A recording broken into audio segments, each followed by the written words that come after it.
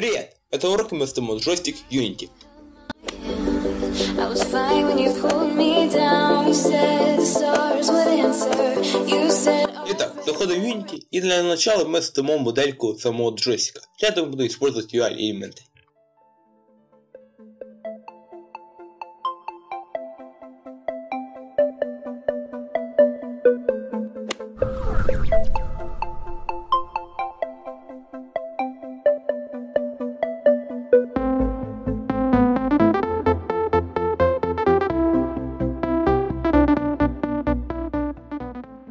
Нас получился вот такой джойстик, и теперь приступаем к написанию скрипта. Скрипт добавляем к вот этому основному заднему джойстику. Назову скрипт джойстик. В скрипте нам нужно добавить еще две библиотеки. Первая библиотека называется Unity Engine UI, она позволит нам работать с UI элементами.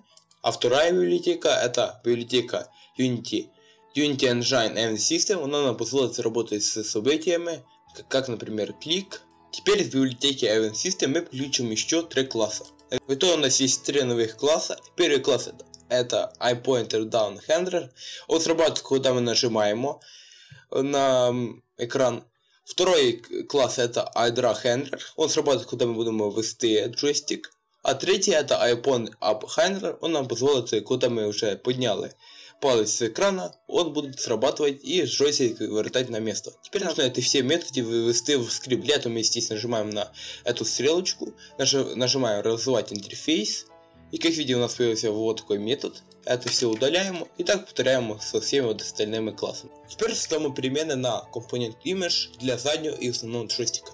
Также создаем векторную перемену, которая будет отвечать за направление джойстика. Дальше в методе start мы будем получать и ссылки на компонент image, будем получать сам компонент. Для получения заднего джойстика мы будем использовать такой метод, как head. А для того, чтобы получить основной джойстик, мы будем использовать такой класс, как head. Его можно использовать только тогда, когда этот объект является дочерним к этому. Выходит вот так. Теперь про методу iPointerDown. Он будет срабатывать туда, когда мы уже нажали на джойстик.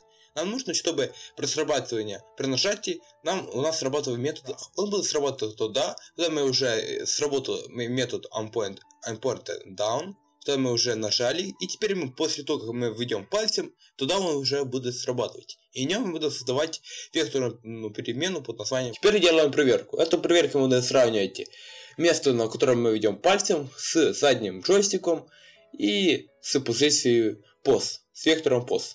Теперь мы изменяем позицию э, координаты POS, X и Y, и здесь мы ее делим на джойстик позиции. Направление вектору input vector. Теперь делаем еще одну проверку. И теперь мы изменяем позицию нашего основного джойстика. Благодаря тому, что мы сравниваем наши перемены input вектора, POS После того, как мы уже отжали джойстик, мы будем, для этого будем использовать такой метод, как onPointerUp. Он срабатывает, когда мы нажимаем его, палец от экрана. Мы будем уже изменять позицию input вектора. Приравниваем этот вектор к нулю, а также аннулируем координаты нашего основного джойстика, он будет в центре. Теперь нажимаем Ctrl-Shift-S и теперь мы можем проверить.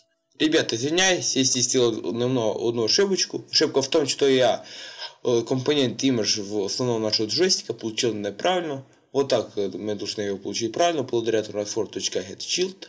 Здесь указываем номер нашего компонента по это 0. И здесь мы получаем этот компонент. Значит, теперь, когда мы все загрузим, то мы будем видеть джойстик, который работает. Как видите, вот я нажал, я выжду и все отлично работает. Теперь мы будем делать так, чтобы благодаря этому джойстику мы смогли управлять, например, этим игроком. Теперь в сети мы создаем два публичных float метода, благодаря которым мы можем направлять нашего игрока по оси vertical и horizontal.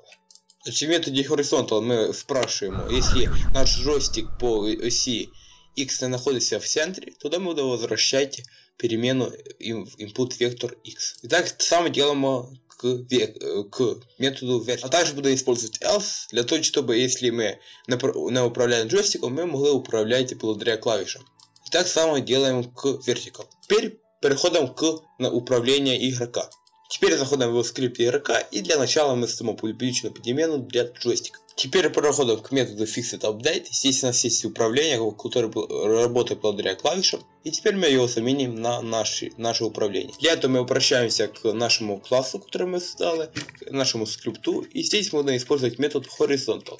Если у вас нет здесь э, этого метода Horizontal, то да, вы сделаете этот э, метод публичен.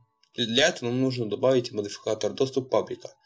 Нажимаем, ставим здесь тушки и в итоге у нас так получилось. И теперь нам нужно так сделать само для прыжка. Но здесь есть одна проверочка. Значит, для прыжка мы уже используем метод vertical. И нам нужно, чтобы наш джойстик был наверху, то есть больше нуля. Теперь нажимаем на код Shift S, все готово, теперь можно проверить. Также не забываем кинуть джойстик к игроку, такой кидаем, все запускаем, как видим я иду, нажимаю на джойстик, наш игрок прыгает, прыгает, прыгает, я иду вправо, все влево, он идет вправо. Все, все прекрасно работает. Вот так, раз, два, можем прыгнуть. Все, на этом будем заканчивать. В этом ролике я сделал такой джойстик. Кому этот урок понравился, я помогу, чтобы ставьте лайк. А на этом все. Всем удачи, всем пока.